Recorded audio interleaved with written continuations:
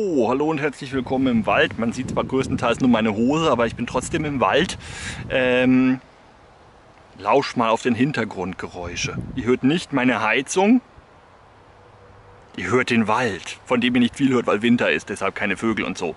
Aber was ich kurz beitragen wollte zum Thema Schnur, sind die zwei Knoten bzw. Wickeltechniken, die ich persönlich äh, im Umgang mit Schnur für wirklich, wirklich, wirklich wichtig halte. Ja, natürlich gibt es noch einen ganzen Haufen andere schöne Knoten, die man früher oder später mal lernen sollte. Wenn man aber so wie ich ein Knotenmuffel ist und eher faul im Knoten lernen. Also ich habe inzwischen auch noch ein paar mehr drauf. Dankenswerterweise habe da mal so ein kleines Knotenknüpf-Lern äh, geschenkt bekommen, vorsichtig ausgedrückt. Ähm, seitdem kann ich ein paar mehr. Aber trotzdem, die zwei Dinger, die man meiner Meinung nach wirklich unbedingt beherrschen sollte für draußen, so wie ich, was, was ich draußen immer so brauche. Das sind äh, einmal der Knoten, der einem ermöglicht, so ein schönes Schnurbündelchen hier zu produzieren, beziehungsweise was heißt der Knoten? Die Wickeltechnik ist total simpel.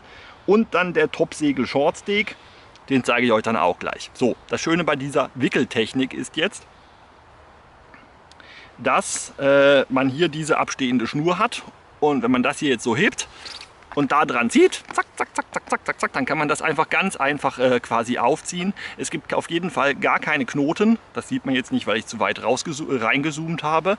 Ähm, und wir haben die ganze Schnur quasi sofort äh, knotenfrei, unverhüttelt, bestenfalls mal mit so einer kleinen äh, direkt einsatzbereit. Ne? Und das geht wirklich in Sekundenschnelle und man kann das auch relativ schnell wieder aufwickeln. So, und dazu muss man jetzt ein kleines bisschen rauszoomen, sonst bin ich da dauernd aus dem Bild. Nämlich, ich mache das immer so, dass ich das Ding hier so in die Hand nehme. Hier unten muss ein kleiner Zipfel rausgucken, so, na, bei mir sind es immer ungefähr 4-5 cm und jetzt muss man einfach nur diesen hier machen. So immer eine Handbreit. Das ist immer ein ganz gutes, gutes Maß und da wickelt man einfach alles auf, bis man noch ungefähr so oh, 80 cm Schnur, up, up, da ist sie, zack, da ist sie zu Ende. äh, überstehen hat. So ganz grob. Das könnte auch persönlich, ist auch nicht schlimm, wenn es weniger oder mehr ist. Es tut eigentlich nicht viel zur Sache. Ich möchte nur halt, dass es schön ordentlich aussieht. So, und jetzt geht man hin, nimmt hier das äh, lange Ende, was man an Schnur übrig hat, fixiert das quasi mit dem Daumen an seinem Schnurbündel. Das ist wirklich idiotensicher und hält das jetzt schön fest. So, jetzt hat man das hier so abstehen und jetzt muss man das nur noch um das abstehende Dingens hier drum wickeln. So, und jetzt wickeln wir das ganz vorsichtig, damit es auch ja jeder sieht, einfach so auf. Und jetzt machen wir das ein bisschen schneller, weil es jetzt jeder gesehen hat. Nöck, nöck, nöck, nöck, nöck. Nöck, nöck, nöck, nöck, nöck. Nöck, nöck, nöck, nöck, nöck, nöck, nöck. Und irgendwann haben wir dann zu Ende aufgewickelt und jetzt stellen wir fest, hier ist aber noch relativ viel Schnur übrig, dann kann man das einfach noch ein kleines bisschen hochschieben und ein kleines bisschen zusammenschieben und dann ist nicht mehr so viel Schnur übrig und dann sieht das Ganze so aus. So, jetzt haben wir hier das da noch überstehen und jetzt haben wir dieses andere Ende, was wir überstehen haben. Das andere Ende, das wickeln wir jetzt in die entgegengesetzte Richtung, wie wir jetzt bisher gewickelt haben, einmal drum. Ah! Na toll. Und jetzt geht es gleich wieder alles auf hier. Also einmal drum und dann kriegen wir auf der Rückseite was, was so aussieht. Und das bietet sich jetzt natürlich an, dass man da dann schlicht und ergreifend einen Knoten macht und fertig. Und schon haben wir ein Schnurbündelchen, das wir so gut transportieren können. Wenn wir sicher sein wollen, dass es nicht aufgeht, dann machen wir halt einen Gottesnamen noch einen Knoten drauf lasse ich jetzt an diesem Stelle, äh, dieser Stelle sein. Und wenn wir jetzt, wie gesagt, diese Schnurbündelchen wieder aufbekommen wollen, dann müssen wir hier nur den da losmachen, äh, den suchen, der da unten rauskommt. Das wäre jetzt dieser hier, kann man sehen. Und wenn wir an dem ziehen, flupp, flupp, flupp, flupp, flupp, flupp, flupp, flupp, flupp. Und schon haben wir unsere ganze Schnur äh, äh, ja, sofort äh, zur Verfügung, um damit, äh, ja was auch immer, zu tun und es gibt garantiert eben keine Knoten, es kann sich nichts verheddern und es geht halt wirklich richtig, richtig, richtig schnell und sofort hat man seine Schnur verfügbar. Ich persönlich habe in meinem äh, Zelt, Tarp, was auch immer, Aufbauset dann immer so vier, fünf, sechs von diesen kleinen Schnurbündelchen drin. Eigentlich braucht man maximal vier, aber ich habe gerne noch zwei zur Reserve, falls mir irgendwas anderes einfällt, was ich mit Schnur machen möchte. Ähm, und die kann man dann schön auseinanderrupfen und schon hat man die Schnur griffbereit. Und so, das ist die eine Sache, die wichtig ist, die man mit Schnur machen kann. Die zweite Sache, die meiner Meinung nach wirklich un unglaublich wichtig ist, ist ein Spannknoten zum vernünftigen Abspannen von einem Tarp, einer Baumarktplane, äh, ein Zelt, was auch immer. Den brauche ich wirklich mit Abstand der häufigste Knoten, Spezialknoten, den ich so brauche, auch wenn ich jetzt inzwischen andere kann. Lange Zeit konnte ich nur den und ich bin mit dem eigentlich für die aller, aller, allermeisten Anwendungen sehr gut zurechtgekommen. Und zwar funktioniert er folgendermaßen und der hat verschiedene Namen. Unter anderem heißt er auch halt eben Topsegel Short Stake. Ähm, wie heißt er denn auf Englisch? Wusste ich mal. Na egal. Jedenfalls machen wir eine Schlaufe.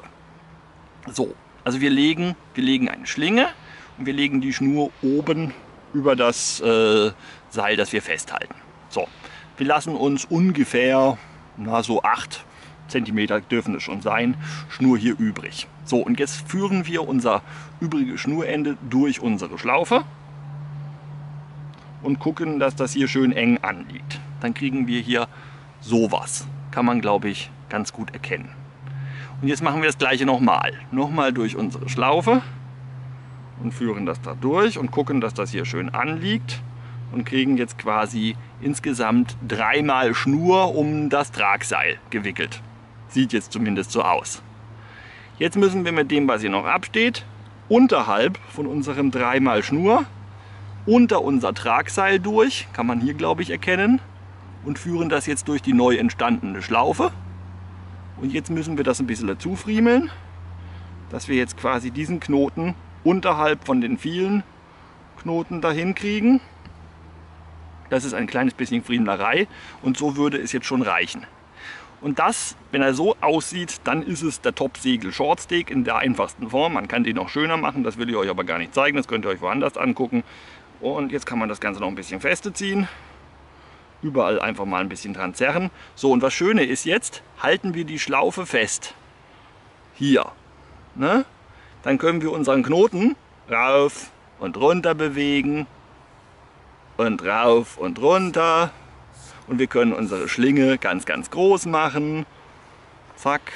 Oder wir können unsere Schlinge, zack, ganz, ganz klein machen. Und das ist halt eben das Schöne an diesem Ding. Das ist einfach ein Spannknoten, weil wenn wir jetzt das hier um Stock legen und jetzt machen wir die Schlinge größer, dann wird unser Gesamtseil kürzer. Das heißt, wir kriegen da Spannung drauf. Und damit äh, lässt sich also ein Tarp oder ähnliches halt wirklich prima abspannen. Man zieht das Ding hier dran straff, da kann man ruhig mit Kraft ziehen, dann kann man hier eben entsprechend nachstellen, den Knoten und probiert das einfach mal aus. Da bin ich sicher, das kapiert jeder, sobald er das irgendwie mal als Tarpspannknoten verwendet kann man auf eine Hängematte nehmen oder sonst wie. Also das ist der, der universelle Knoten, den man wirklich outdoor meiner Meinung nach am meisten braucht. Also lässt sich nur bewegen, indem man den Knoten selbst verschiebt. Äh, und so bleibt es halt stabil. Also da kannst du, da bewegt sich dann garantiert nicht. Also wenn da Spannung auf der Schlaufe drauf ist, bewegt sich da nichts. Das möchte ich nochmal betont haben. Ne? Also, das hat jetzt hoffentlich äh, jeder verstanden. Und das war jetzt das kleine Minimum an Knoten, das man, wie ich finde, für den Wald können sollte. Video und äh, tschüss.